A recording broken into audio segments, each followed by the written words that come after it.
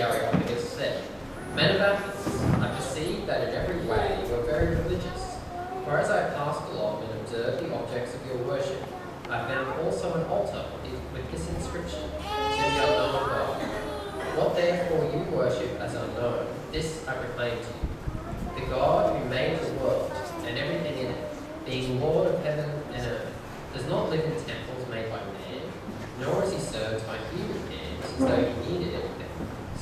himself gives to all mankind life and breath and everything.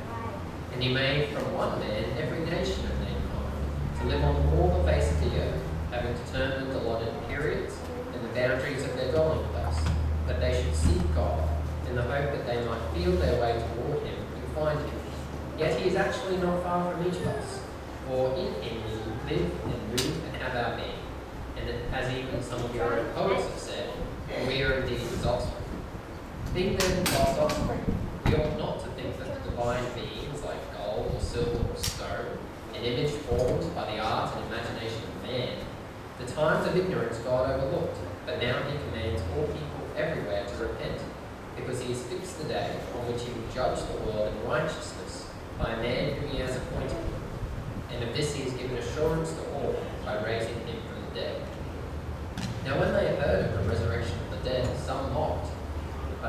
said, Who will hear you again about this?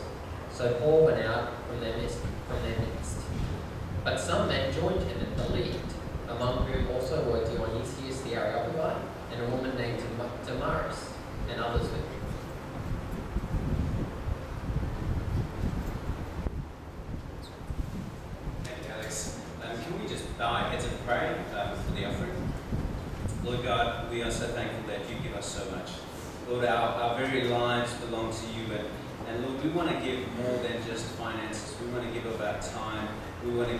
talents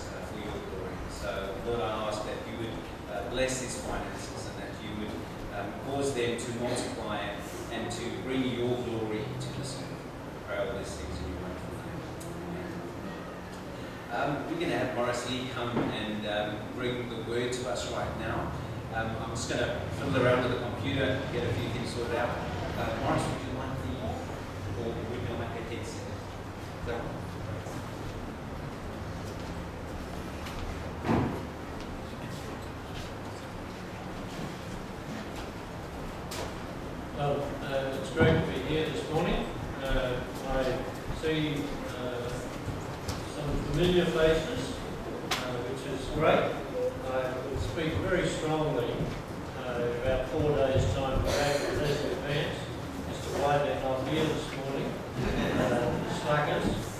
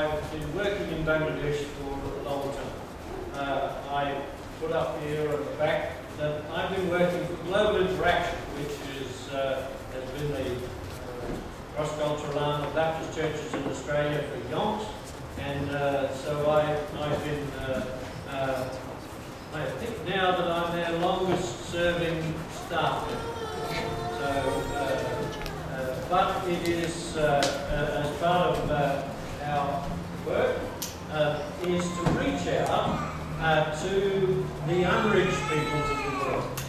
Because we believe that Jesus is God's greatest gift to humanity.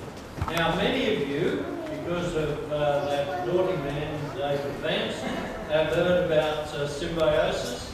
And symbiosis is really a child of global interaction. Without global interactions input, symbiosis would never have started. And uh, uh, I, uh, we've got a, a fundraising breakfast on the 19th of March. If you're really interested in a great breakfast, and uh, you'll hear about symbiosis at that breakfast. Because we try to raise funds for the projects of symbiosis, not only from churches, but also from people outside. Because uh, many people outside churches uh, uh, can respond to the sort of work that symbiosis does. And what I want to talk with you this morning about is that it's only the communities of faith in Jesus Christ who will support and uh, pray for uh, that which is the greatest need of humanity, which is Jesus. It's only churches who will do that, or communities of faith. Now, you might, if you hang around Morris Lee long enough, you'll find that I don't talk about church that much. I talk about community of faith. Because uh, church is so full of uh, different ideas. We have a building in Bangladesh called the Friendship Tower, named by a good friend of mine, a Bangladeshi It's surrounded on three sides by the Catholic mission. And uh, I go, I take people when they come to Bangladesh, I take them to the roof of our building and I say to them, look for the religious symbols around here. And so they look around and they pick out crosses. And in the cross, the cross sits in the middle of an M. And I say, to you look. And I said, now what's that M stand for? Sponsored by McDonald's? Nine and C? No, it stands for Mary. It stands for Mary. And the major institutional representation of Christianity within a country like Bangladesh and many others gives an impression of following Christ uh, that is very different from the Bible. Because they, uh, that uh, you have in that institutional representation, if you go inside the sanctuary or the church, whatever, you'll find lots of statues.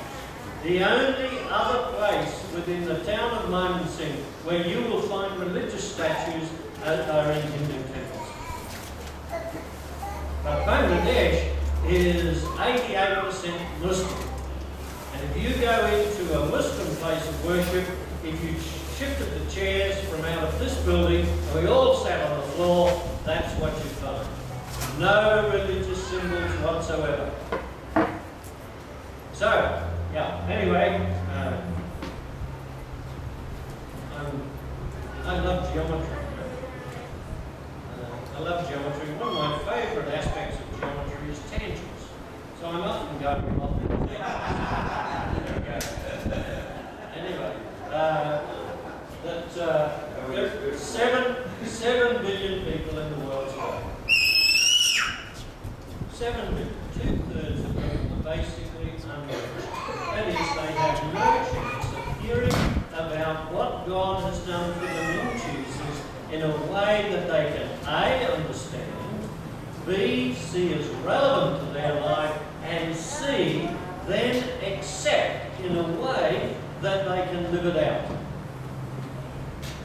Now, uh, uh, okay. Now, this is an interesting fact. If you put the 7 billion people who are in the world today into Australia, there would be 3,100 people per square mile. Sorry for those who are under the age of 55, if you don't understand what a square mile is, uh, but you know, I'm using the old, uh, there'd be 3,100 people per square mile. The present population density of Bangladesh is 3,600 people per square mile. So, uh, I have a friend of mine who's an American. I worked with him for uh, 39 years, and uh, he, his, he said Bangladesh is one definition cozy. So, uh, uh, but it's to the unreached people of the world that we seek to go. Now, not only in Bangladesh, uh, but in places like Kazakhstan, in Malawi, and Mozambique, in three uh, people groups in Indonesia, and amongst Buddhist people in, uh, in uh, Thailand and Cambodia, and amongst the minority Muslim groups in China. Those uh, focus. My focus has been, along with the team that I work with, is to be the Muslim people of Bangladesh. Bangladesh has uh, a, a Christian church. It has an amazing church amongst tribal groups. Now, uh, Warwick's father uh, worked amongst a tribal group, amongst the Garo people. And the Garo people are amazing. That uh, over a period from the la uh, latter part of the uh, 19th century through the early part of the 20th century, the Garo tribe basically came to Christ. I've been, as I say, in Bangladesh for nearly 39 years, and uh, about three years ago, uh, I, I had the opportunity to go over the border into India, into the state of Meghalaya, which is uh, one of the states of India uh, just above Bangladesh. I've stood in Bangladesh, which is the plains, the Bengal plains. Uh, Bangladesh makes a a billiard table look lumpy. Uh, it's flat. It's, it's just a, an alluvial plain.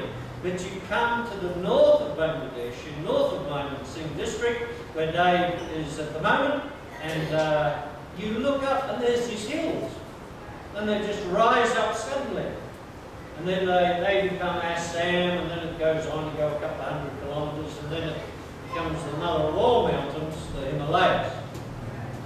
I've never been to uh, this part of the world. I've never been up to those mountains that I've been staring at for over 35 years. And so I got the opportunity. Uh, it took uh, uh, just a little border crossing, went over into Meghalaya, and that was fascinating.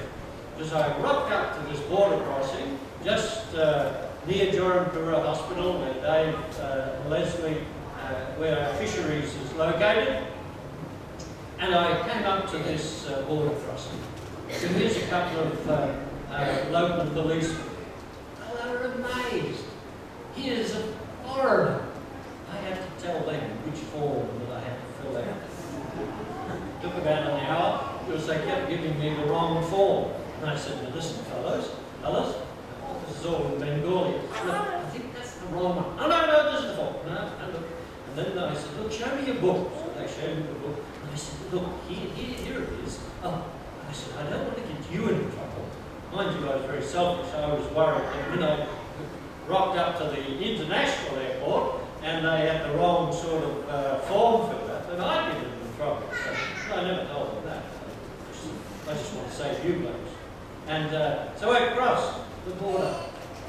I travelled for two hours and I was amazed at the difference geographically, top, uh, topographically, and socially. And I went to a church. And I went to a Garo church, and uh, on the Sunday, when I walked in, it was a big new building, had a mezzanine floor. When I walked in, about 100 people, sat down at the front, the service started about 20 minutes into the service. Uh, they recognised there was a foreigner there, they brought me up, turned me around. It was full. There must have been 1,500, 2,000 people there. And, uh, so it was all in Garo, went for three hours, and if you wanted to lose weight, it was a great place. it was not only a Baptist church, it was a sauna. And uh, it was led by a woman, because in uh, Garo society, they're matriarchal. The woman preached, uh, another woman preached, she was a medical doctor, gave a, an hour's sermon on uh, a biblical view of abortion. And uh, I could understand the whole thing, despite the fact that it was in Garo, because the PowerPoint was in English. uh, but it was just the same as a, um, as a Western service. There were guitars, there was PowerPoints. It, it was just amazing, but I was emotionally moved. I sat down after I, uh, after being greeted, I sat down and, and uh, tears came into my eyes. And I thought, this is unusual. Here this whole tribal group who through uh, Australian Baptist missionaries largely uh, have come to faith in Christ. A whole lot. And I thought, why, why can't I have this? Why have I got to work amongst the people that I'm working amongst? Uh, because we can't have that big sort of meeting. It's small groups, individuals, families. And uh, yeah, but I rejoice at what God had done amongst the Garo Now, uh, if we look, the two-thirds of the people are uh, unreached. But if we look at these terrible facts, that what we see is that in the world today, that uh, the following is the, the truth. 96% of all Christian resources, personnel and money is spent amongst, uh, what was it, 28%? Uh, no, 36% uh, of the world where people have lots of access to Christian, uh, uh, to Christian things, to hear the message. You go, you, it's, um, you, uh, and then you have uh, 3% amongst uh, non-Christians who have access to Christian resources, and the unreached people who don't have easy access to the gospel, less than 1%.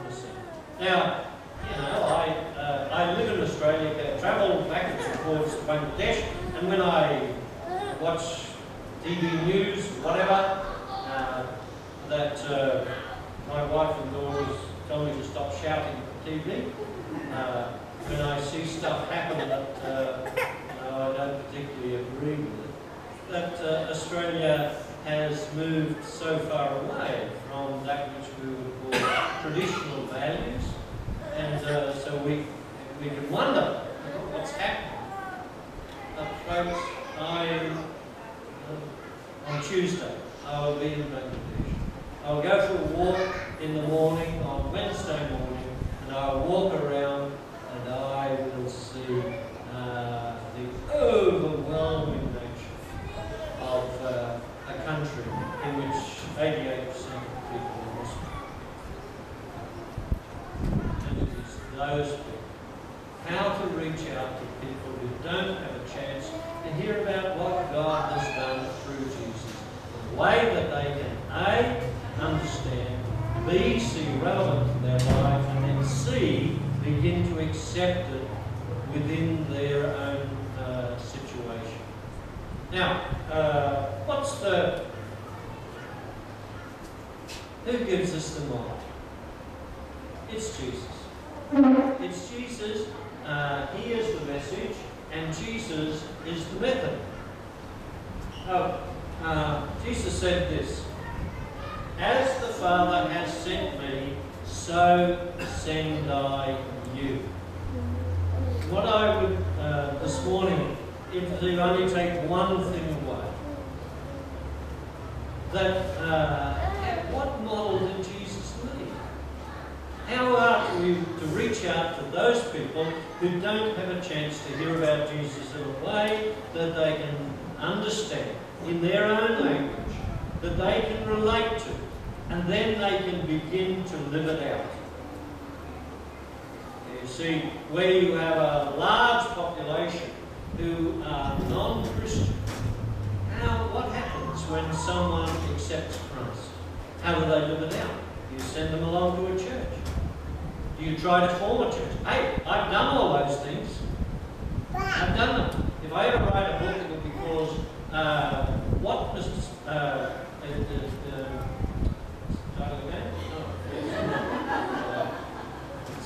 uh. Uh, what mistakes it is possible to make as a cross-cultural missionary and how I have made them. Now, you, you go to most mission society websites, it's radical, we're doing this, we're this, this, and the other. We're, I'm looking for the website to say, uh, what mistakes have I made? You know, where are our weaknesses? Because that's more honest. We just want to put the positive spin on stuff. That you see it's through your mistakes, what you try, and where you fail, and what problems occur, that those are your biggest learning things.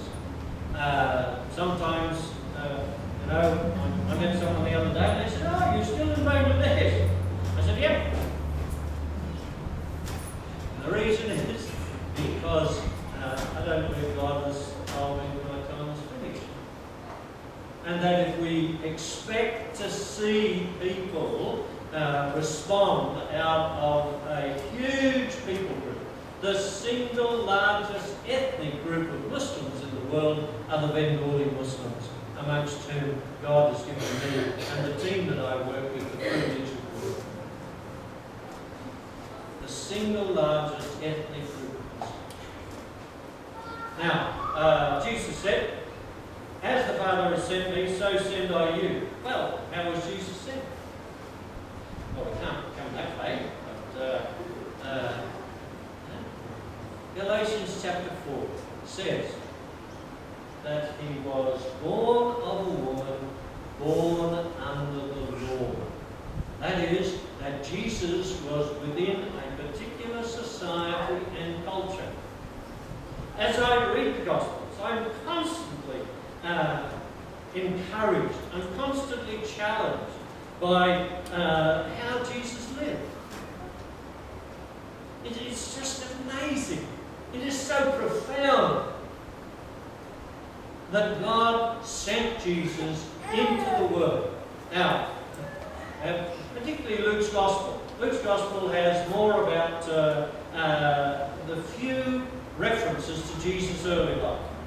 So, know, he's born, uh, you find references to the wise men coming when he's, uh, after he's born, the those amazing nativity scenes. But in Luke's Gospel, it has Jesus at the age of 12 going to Jerusalem, probably for the first time from Galilee.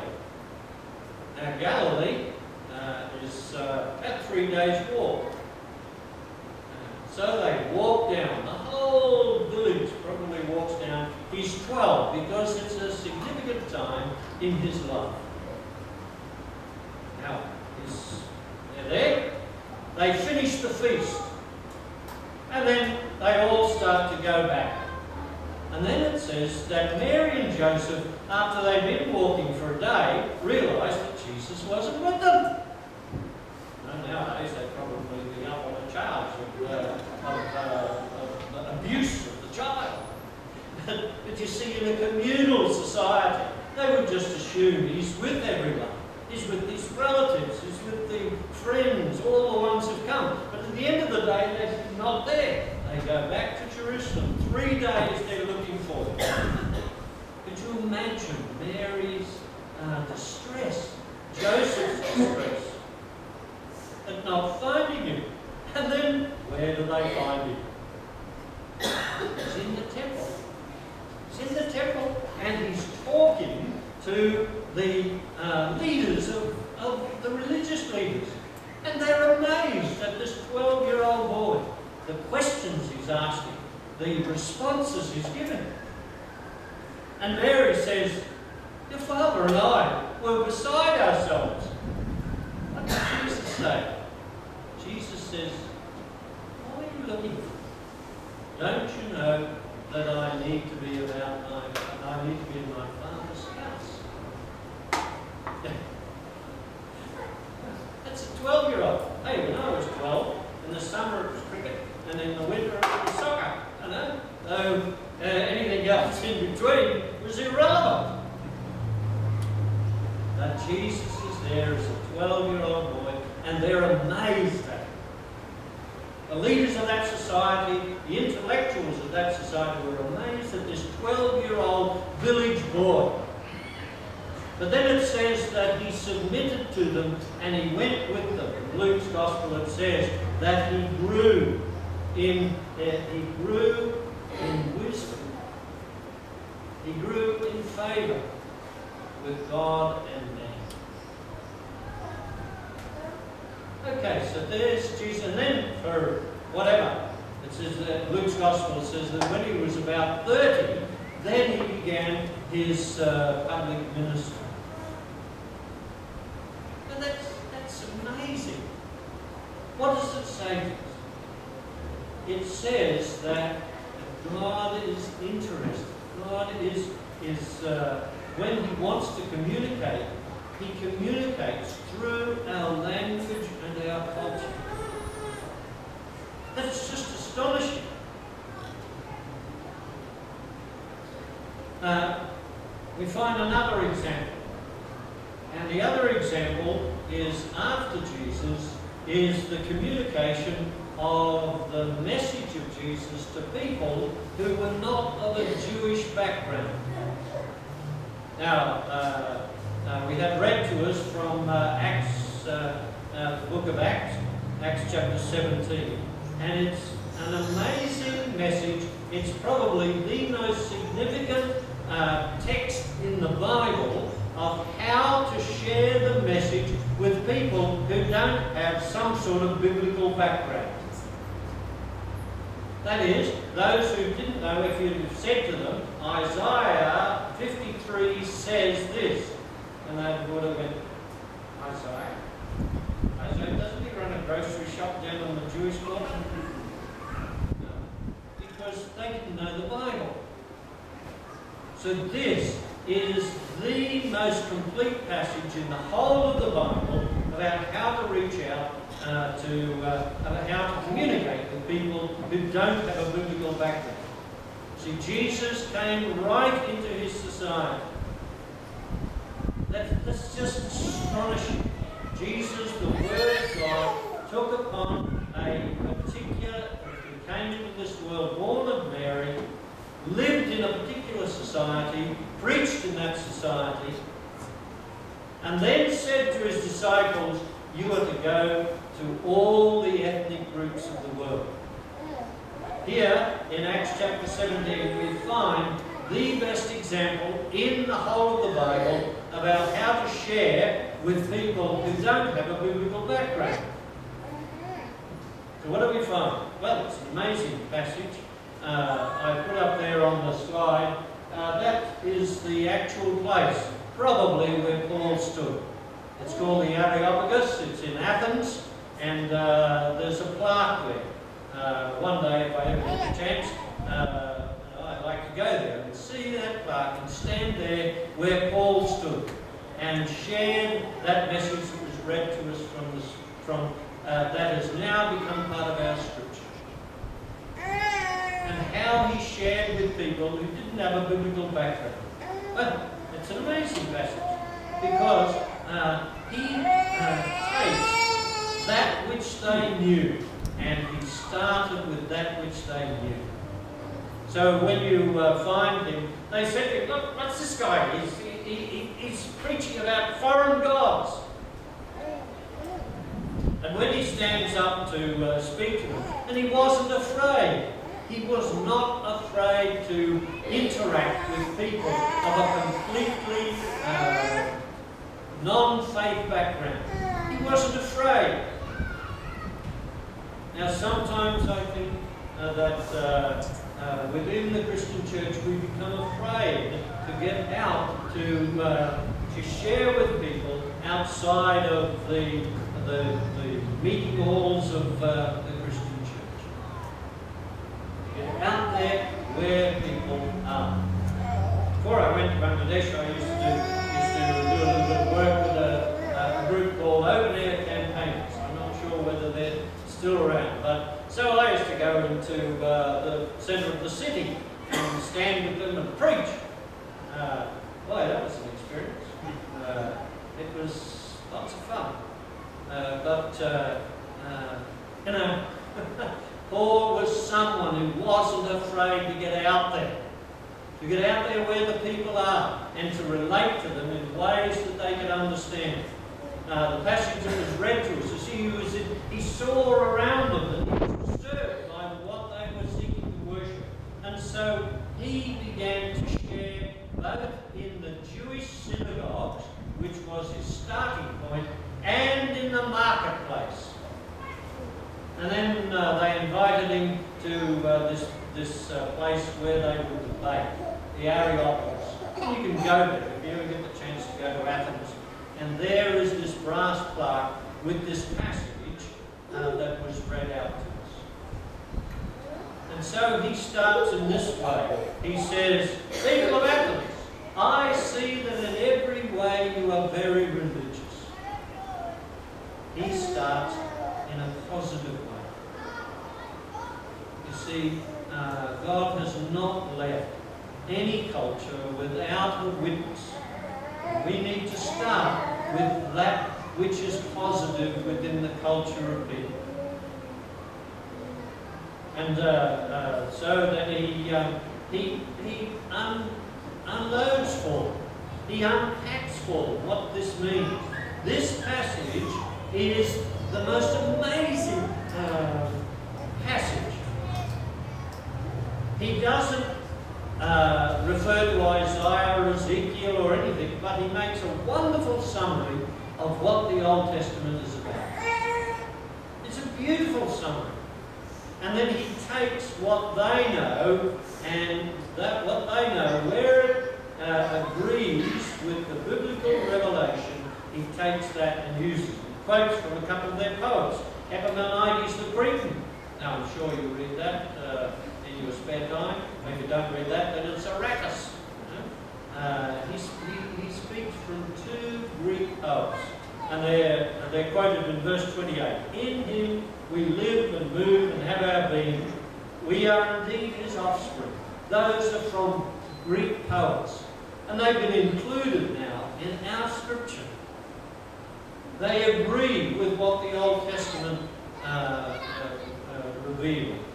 And so uh, he then presents to them that, uh, uh, that we ought not to think that God is, uh, is like gold or silver or stone, a representation by the art and imagination of human beings. The times of ignorance God has overlooked. Now he commands all people everywhere to repent. And you see, as you read this passage, you find that uh, Paul had a wonderful knowledge of the Bible. He had such a knowledge of the Bible that he was able to summarize it and put it into a, a way that non-biblical uh, people who didn't read the Bible would understand. So he had a great knowledge of the Bible. Uh, the, third, second thing was that he had a knowledge of his own culture. He knew from where he came. So that's very important. Really, really important to know where we come from. You know, uh, if you do geometry or trigonometry, one of the geometries, that uh, if you really want to know where you are, you have to triangulate. You have to figure out a couple of reference points. And this is what Paul does. He knows where he comes from, and then he knows their own culture. He knows their culture. He quotes their poets. I grew up, when I was growing up in the 50s and the early 60s in Brisbane, uh, there were Sunday schools were absolutely chock-a-block. All the kids, all the baby boomer kids, put your hands up if you're a bona fide card-carrying baby boomer. Come on, come on. Yeah, look at them. Yeah. Okay. There were, Sunday schools were just chock-a-block. Because even though parents may not have gone to church, they sent their kids to Sunday school. And so we learn uh, Bible stories. We learn, uh, we absorb that stuff. Now, you go,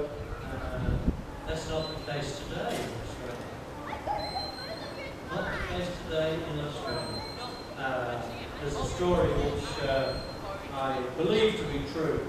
Uh, a fellow from Melbourne, he worked for a university, he used to go to Bangladesh and do social research work. And uh, anyway, uh, he went there several times. He ended up marrying a girl from the Christian community in Bangladesh. So there's a small Christian community. So he married a girl from there, he took her back to Melbourne. Now, he was a great Aussie rules file, Collingwood was his great passion. And so he took his new wife along to watch Aussie rules. And then to help her, he bought her a book about the players He uh, gave her this book. And so she's reading the book, and then as she's reading it, she says to him,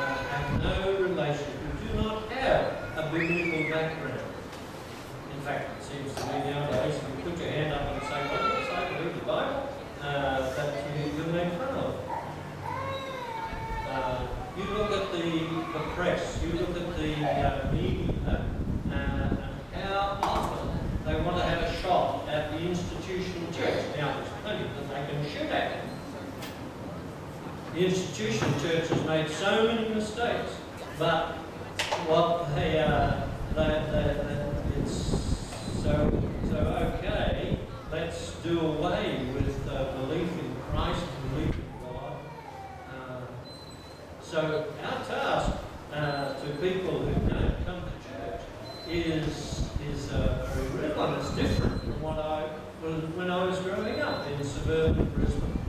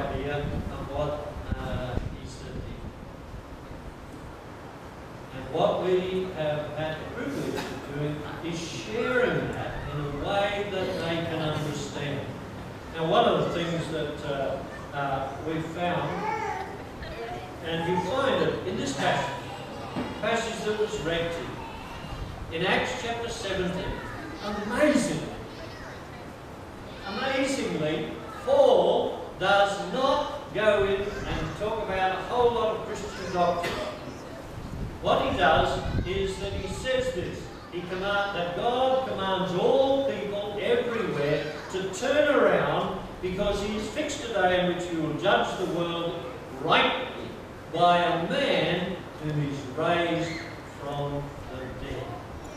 Wow!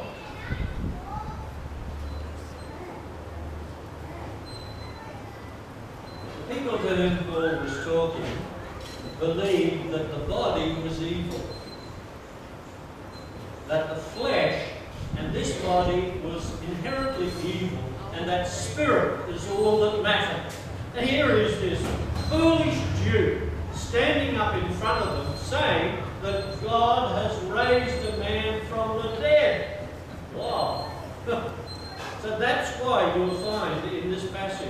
that uh, some of them said,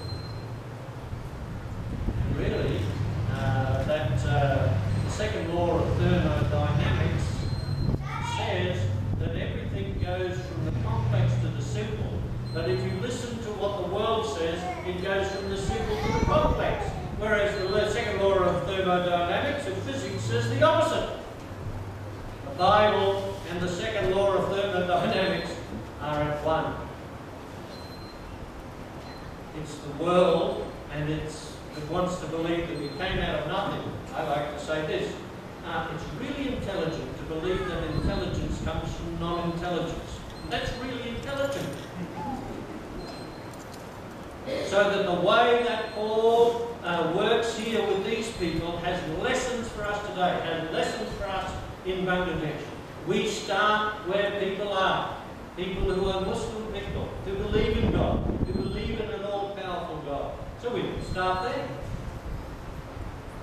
They have the Quran, which talks about, uh, has more references to Jesus than any other prophet. That's where we start. The most fruitful uh, evangelists among Muslim people in Bangladesh start there. And they have led many people, hundreds of people, to faith in Jesus. Now, uh, the, the thing is that Paul then says, God has fixed a day on which he will judge the world rightly by a man that is raised from the dead. Now, I don't know whether you noticed it, but you see in this passage, Paul never refers to the name of Jesus.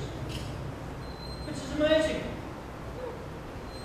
He says he's raised a man from the dead. Now, you have to see that this is an introductory, uh, an introductory time with these people. It, Paul wasn't like me. I, I teach the whole Bible in an hour and a half. You'll be out of here before then, folks. Uh, you see that that uh, he takes, he takes, puts it out there that God has raised a man from the dead. Uh, that's what he spoke about. Now that made them really interested. Some of them called him a fool, but others were interested. And you see, it is the resurrection of Jesus that makes the death of Jesus understandable, that makes the death of Jesus relevant. And I, I, I grew up uh, not liking uh, symbols, not liking religious symbols. Maybe I was too influenced by a couple of uh, seven-day Adventist aunts that I had. Maybe. Uh, but for me, I don't like religious symbolism. So, uh, yeah. So, religious symbols, you see uh, a cross with a, with, uh, with a figure hanging on. So, often you can, and Paul also says the cross. But you see, it is the resurrection that makes the cross meaningful. There are thousands of people crucified in Jesus' day. There's only one person who's been raised. Only one. And that's the person of Jesus. And it is that risen Jesus that we seek to present to people.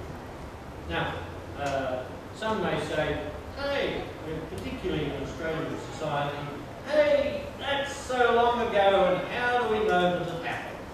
You know, it's, it, you have to believe in the fairies to think that this could happen. I've got a few questions that I like to put to people uh, if they think about that. I, here's a common question, here's a question that I like to ask people.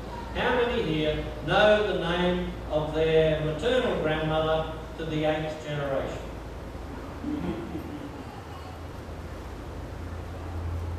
Come on. Mother, grandmother, great grandmother, great great grandmother, great great great great grandmother. How many of you know her name? Don't know her name? Someone does. Yes, someone does. Very good. All right, what about the 15th generation? No. Well, I just choose the 8th. It's, it's a good uh, uh, number. It's, it's 2 to the power of 3, so there you go. Um, it's, um, I could go back to any. So, I want to put to you that you do not know the name of that, anonymous lady. And I would put to you that she is totally irrelevant to your life, and if she never existed, it wouldn't have any effect on you.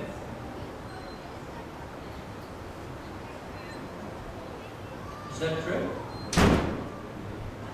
No. No. No. Now, here's another one. This is a mathematical one. That if you take a generation of 20, 25 years, and you go back 20 generations, therefore 500 years, and you add up all the people who are directly involved in your descent. Now, I can assure you that if you add them up, so that's 2, 2 plus 4, plus 8, plus 16, plus 32, plus 64, plus 128, plus 256, plus 512, plus 1024, plus 2048, etc., etc., to 20. It comes to over 2 million people directly involved in your descent. Directly. 2 million of them. And that's only 20 generations. I have an American friend who's this. My naughty friend Walter White, whom I worked with for 31 years, he said, well folks, you know, think about it. If just one of them had said one night, I've got a headache, you wouldn't be. but I didn't say that. It's, wrong. It, it, you see, it is just, when you think about that there is so much in our background that we have no knowledge of that is absolutely central to our existence. And modern society regards the past as the past and has had no influence on me whatsoever is just rubbish. So, the witness of the Christian community, the followers of Jesus, for over 2,000 years has been this that Jesus rose from the dead. They rose from the dead. That he rose from the dead is the only one who has risen from the dead and remains alive and is at the right hand of God and will come again. And the Christian, the followers of Jesus, have witnessed to that fact from the time of his resurrection down to today. So don't tell me, no. Uh, just think about Granny that